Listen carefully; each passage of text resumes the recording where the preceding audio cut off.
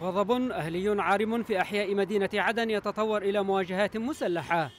المواجهات جاءت بعد مداهمات قامت بها ما تسمى قوات العاصفة التابعة للمجلس الانتقالي لإحياء حسين والطويلة في مدينة كريتر أقدم وأعرق مدن محافظة عدن بعد احتجاجات شهدتها المدينة مساء الخميس ضدا على تردي الخدمات. خمسين نفر خرجوا عن إرادة الشعب سنضرب بيد من حديد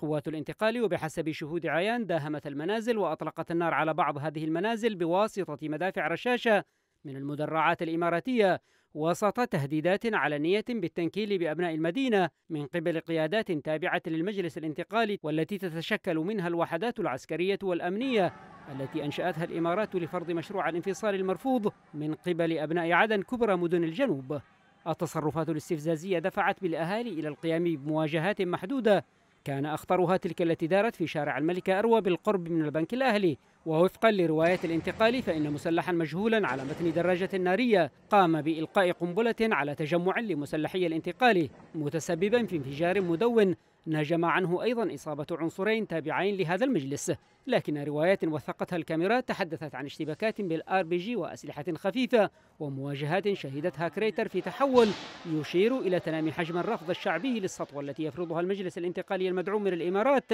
وسط إخفاق كبير في الخدمات والوضع الاقتصادي والمعيشي لسكان محافظة عدن.